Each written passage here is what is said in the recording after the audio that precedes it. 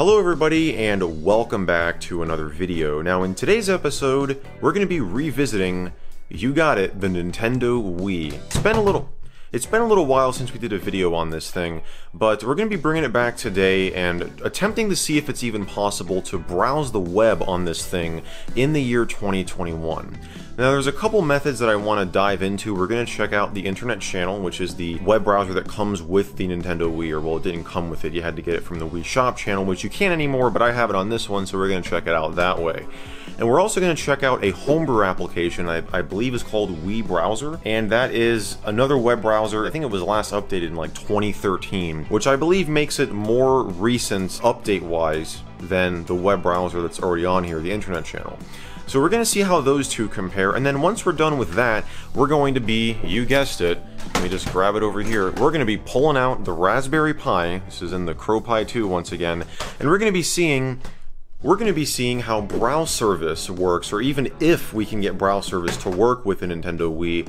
Uh, I don't see why not, but that's what I say a lot in these videos, and something always goes wrong, so this will for sure be a fun one. Hopefully you guys will enjoy it. So if you'll excuse me, I have to get my really sophisticated recording device here.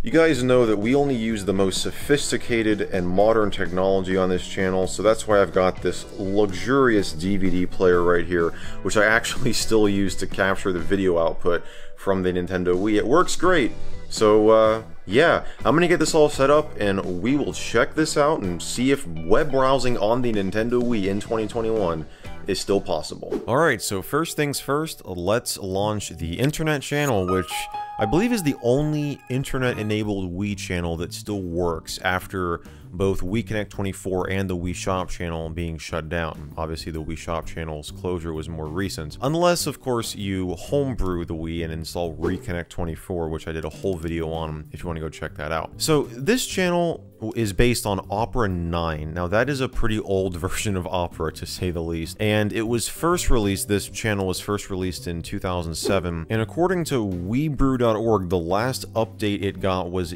on September 1st, 2009, but it doesn't say anything about changing the Opera version. So this is still Opera 9, I believe. So we're going to go to google.com uh, I could use a USB keyboard, but I'm just using the Wii remote because I just prefer to just take longer with everything. So this here is the Google homepage, and this is actually a ver like this is not the super old version that still has the hyperlinks across the top. We've seen that in a couple other videos on this channel when we try to access Google on older web browsers. Typically it'll work, but it will display a more basic version of the page without this area up here. So with this, we can actually get access to the grid or maybe we can't. Well, it's loading something. You know what, while it's doing this, I'm gonna go get a USB keyboard. Okay, so I genuinely don't know what this is doing. This is supposed to pop out with a list of Google applications, or well, if you wanna call them that, you know, Google Docs, Google Drive, what else? Google Images. Google's got some applications in there, okay? Let's just put it that way. But yeah, it's not it's not doing anything. I mean, it's loading something it looks like, but it's, uh, I mean, you can see the bar down here is right at the very beginning, and we still have the spinning circle animation over the, the Wii cursor here. Let's try Gmail. Let's uh, click on Gmail up here. Yeah, something tells me this is not going to work. We can try images here. And yeah, I think this is just the browser. Oh, wait a second. Oh, there we go. Google Images, or just images. there you go. Dang, this looks real. I mean, look at this. Why is, like, the search box is, like, way off to the left. Oh, this is a totally different version of the page. Like, we don't have that, you know, menu up here. We just get, oh, oh, wait, we do. This is it. It just doesn't, it just doesn't show, like, the icon doesn't show up. Or maybe that just took us back to Google Images. So you got this, like, invisible button up here. Now, the Google, like the regular Google Images page does not look like this if you're accessing it from a modern browser. These links are not uh, uh, at the bottom. There's a little bar down here that's got like advertising, business, about, and how search works, which is, you got some of those links here. And the design of the search box itself is different. But, so we can click on that, and I've got a USB keyboard plugged in. So let's do an image search for YouTube, and press enter, and then we gotta uh, yes, Nintendo, with your great user interface design, we gotta hit OK, even though we've pressed enter on the, uh, on the keyboard. I wonder if this is gonna load indefinitely, that's my guess. Maybe we gotta hit search? Okay, so that...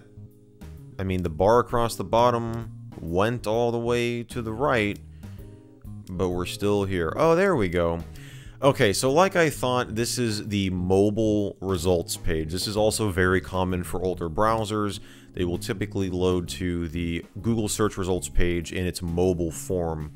So this is not the, I mean, you can still view search results, which is great. So yeah, there you go. We can look at all these YouTube images. Let's go to all here. And this page already looks a little broken. I mean, we got I, I want to say this is probably the search button. You know, it's got that like blue background with the with the magnifying glass. I'm gonna guess that's what that is. So we can go, we can scroll down here. We got some some tweets from YouTube. What is what is YouTube tweeting about? We asked the world to film. Oh yes, July 25th, 2020. We asked the world to film the story of a single day on Earth. Oh, I yeah, life in a day. I remember this. I think I got an email about this. Is YouTube free now? Is YouTube free now? People ask this. When has it ever not been free? Maybe they mean YouTube Premium or YouTube TV or something. But you, why? This doesn't make any sense. Let's go to Wikipedia. We'll try to go to Wikipedia page. Yeah, this is a pretty slow browser, and this is not my internet connection. I'm sure some people will probably say, oh, is just your internet connection. No, this is not, as I have 100 meg down, and uh, this is not 100 meg down that we're getting here. So uh, this is absolutely the, the browser. Oh, unable to complete secure transaction. You tried to access uh, oh, it's this is the Google uh, redirect URL here is currently unavailable. Well, let's just try to go to Wikipedia directly and see. So we'll go up here. Oh, that's right. We just click here. I'm like, I'm going to the top of the page to get to the address bar. Okay, so let's go to en.wikipedia.org. Well, that's not working either. Unable to complete secure transaction. Yeah, I was going to try and see if we could watch a YouTube video from this thing, but my guess is that ain't going to be possible. I mean, obviously, this thing was last updated in 2009. You can't really expect it to function perfectly, but I used to use this channel all the time. I even watched YouTube videos from it back in, I want to say, well, it was probably around 2008, 2009. I mean, you could absolutely watch YouTube videos on this thing. It was like a regular web browser. I mean, it's based on Opera that was available on Windows. You know, you could use it on Windows if you wanted to. So it's like, it was a yeah, it was a it was a great web browser. It was it was very usable. Obviously, it was just you know designed around using it with a Wii remote, which was the whole thing with the Wii, obviously. But you could uh, well the feature with the with being able to use a USB keyboard was not originally included with this. That was added in an update. I believe the second or third update that the Internet Channel got gave you the ability to use the USB keyboard with it. You know, it's just obviously not going to function like it like it used to. Okay, let's just get out of the Internet Channel here because I don't want to spend the entire length of this video just talking about that because uh, I want to check out the Wii browser. Now, this is a homebrew application that is actually on the Open Shop channel which is the revival project for the homebrew browser. I've mentioned that before on this channel as well. So we're going to start the homebrew channel here, and we're going to open up the homebrew browser and click on load. The only thing is it was last updated, I believe, in like 2013, which is still newer. There it is right there, Wii browser. Let's check the date. 1st of September 2013. So this is about four years newer than the latest version of the internet channel. Here it is, Wii browser. So we're to click on that. It's got pretty official looking artwork here. I want to say that's from like Wii Sports or the Nintendo channel or something. Maybe it was just created for this, but says right here, WiiBrowser is a Wii web browser started from WiiXplorer sources and using a customized libwiigui as base for the GUI. So you can display custom websites. You can, it has support for HTML and HTTPS connections. Well, I would hope it would have support for HTML. If it's a browser, it would kind of need to have that. so I don't know why that's specifically listed in here, but HTTPS, okay, that's good. Links and web forms, capable of downloading files to SD slash SDHC card. Okay, that's pretty cool. Address bar with on-screen keyboard. I wonder if there's USB keyboard support. Doesn't say that here. It can extract zip, RAR, and 7Z files. That's pretty great. Just from the browser, you can extract it. That's really awesome. Supported image formats, PNG, JPEG, GIF. Oh, here come the pronunciation police. I can hear them in the comments right now. Image operation, zoom and move, auto update feature. Well, it hasn't been updated in the, since 2013, so it's been a little while. Wish list, better CSS support, flash videos, Yeah, that also dates this as well. Multiple tabs. Oh, that's... Oh, uh, I thought that was a feature for a second. No, that would be a nice feature. Controls Wii Remote only. Does it say anything about a USB keyboard? Doesn't say anything about a USB keyboard, but let's see if it works. Maybe it will accept input from a USB keyboard. So we're going to load it here, and we get that. I've seen that animation before. Oh, this looks very similar to the internet channel. Yeah, this looks really good, actually. Yeah, you got a very similar looking bar down here. Uh, this is what you would click on to browse. I assume you could click this as well. And it brings up a keyboard here. So let me try to type out... Oh, it works. Awesome. So you can use a USB keyboard. Great. So let's go to google.com. Now the big question, can we press enter? No, we can't. We still have to click on OK with the Wii Remote. Okay, not a huge deal. So we'll click the check mark. And that should, uh, I guess that will browse. Well, we got this thing that came up that said WiiBrowser. Hmm. Uh, yeah, we're kind of, well, I just hit the home button. That probably just will take us back to the homebrew channel.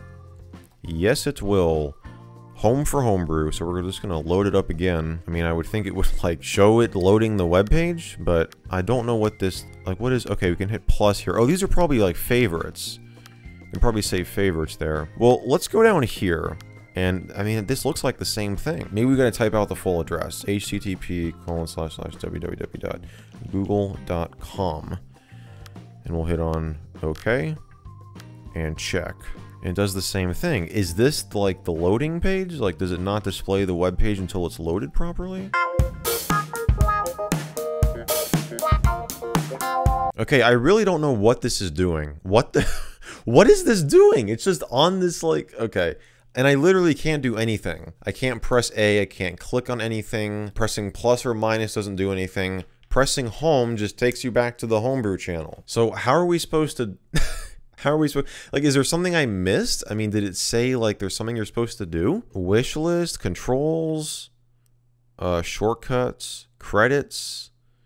Then there's nothing about like you have to do this first. Let's go to settings here. Maybe there's something we gotta okay, homepage, google.com, unzip files, ask each time, user agent. Oh, we could change the user agent. Oh, let's change it to Firefox. That'd be pretty great. But hopefully we can even do it. Like, okay, let's go to the home page. Oh, so it doesn't take you directly to the home page. It, it just queues it up in this box here, and you have to click the check mark. And this just does the same thing. I am like so confused. This is not I mean, I'm looking at the WiiBrew page for this. This doesn't say anything about, like, there's something you're supposed to do, something you're supposed to set up. I just press the home button. We're going to go back to the Homebrew channel again. This is, so you got top sites over here, recent history. This is by pressing plus two times. Uh, nothing shows up here, obviously. Okay, we can view, this is the download manager. I mean, is there something in settings that I'm missing here? Let's turn off auto update. We'll change to start new session, click sound, Firefox advanced. I mean, there's nothing that I can see. You can send a bug report. I wonder if it would actually go anywhere. I wonder if maybe, I mean, it said it supports HTTPS. Can we manually force like HTTPS? Let's go to, gosh, um, you want to just go to YouTube right off the bat? YouTube.com. Let's try it out. Hit OK. I wonder what this does. Do you want to exit? Does this just take you back to, this just takes you back to the homebrew channel. Okay. One more time, we're going to try to go in here and just load youtube.com with HTTPS. If that doesn't work, I guess we're just going to move on to checking out Browservice. Okay. youtube.com, check.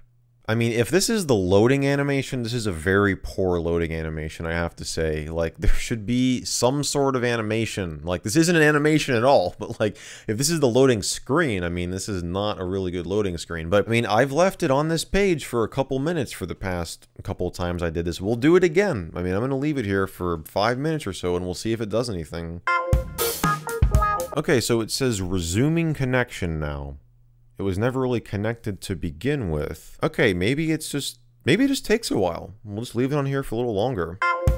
And we've been on this screen for about five to seven minutes. Oh, I can't even press, I'm pressing the home button right now. And that ain't doing anything. I mean, we can still move the Wii hand, the Wii cursor around. but I can't press home anymore. So maybe the, I mean, I would think that the channel is frozen or that the homebrew app is frozen, but normally if the entire system locks up, we can't move the hand around anymore. I keep calling it the hand, but you know what I mean? The cursor. We can't move the cursor around when the entire system is locked up, but I can't press the home button. So I'm going to have to turn this off. Okay, so we're loading up the homebrew channel again here.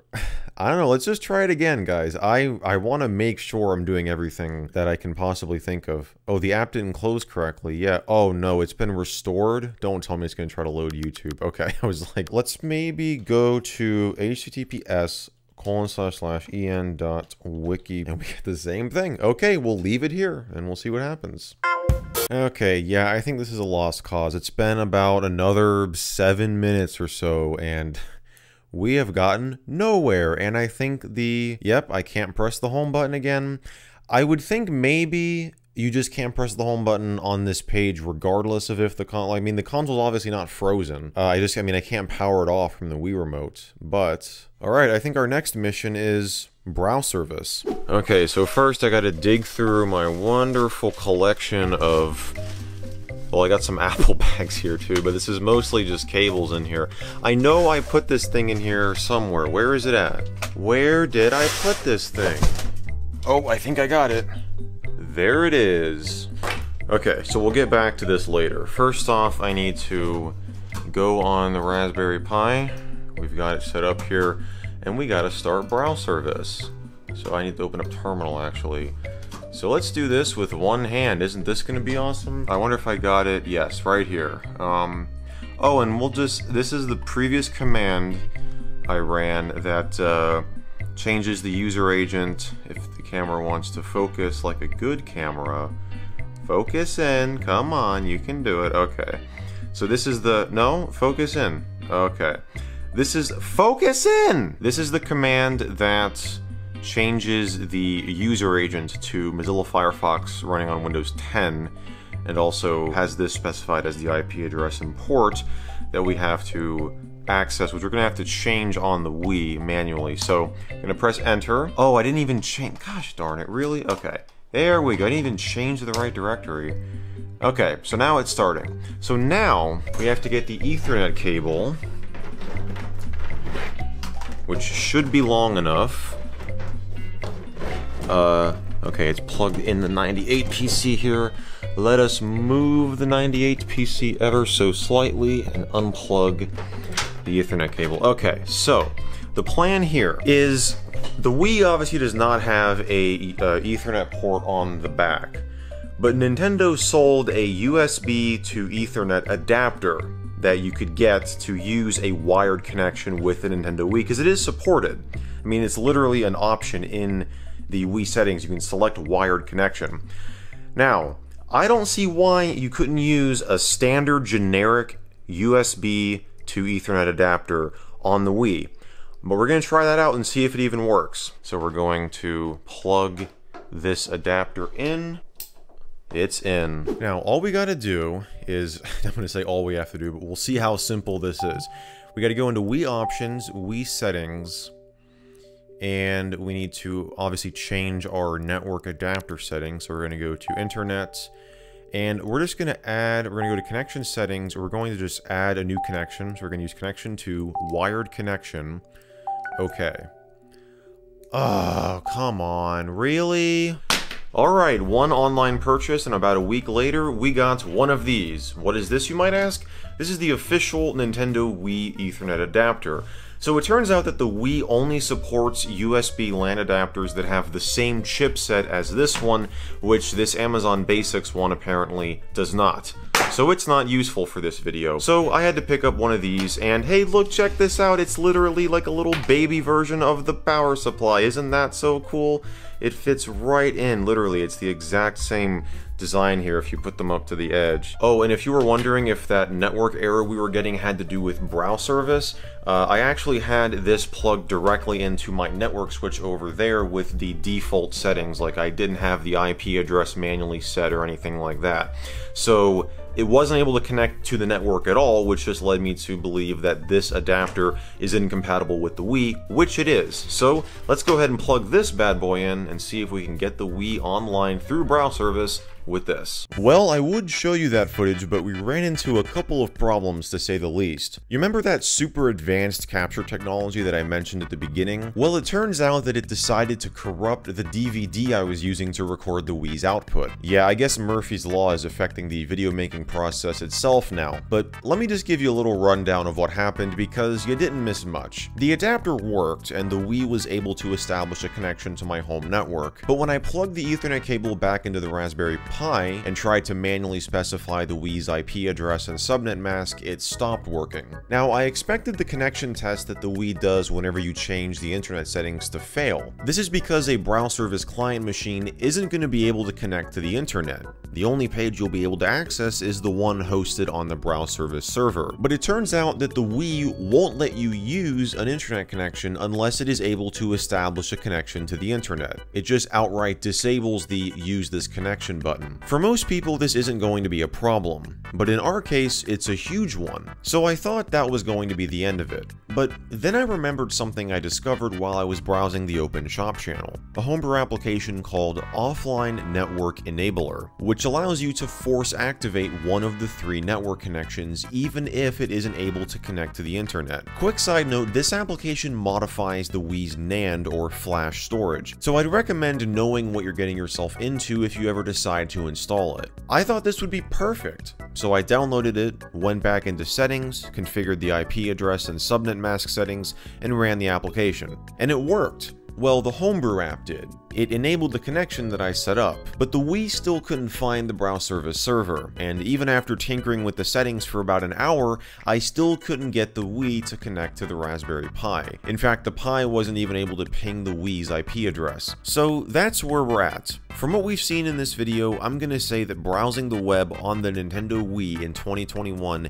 isn't gonna work well for you. I mean, it's technically possible, sort of. The internet channel can load some sites, and I have seen videos of the Wii browser homebrew app working too, but both of these browsers are pretty old, and you're not going to be able to freely browse modern websites without running into some problems. In most cases, I wasn't even able to get the internet channel to load a web page at all. But there you have it. That's my experience trying to browse the web on the Wii in 2021. Hopefully you enjoyed this video, even if it wasn't the conclusion you were hoping for. Oh, but on the bright side, I remembered that I have this composite capture device that I can use for these videos. Yeah, kinda wish I remembered that before recording this one.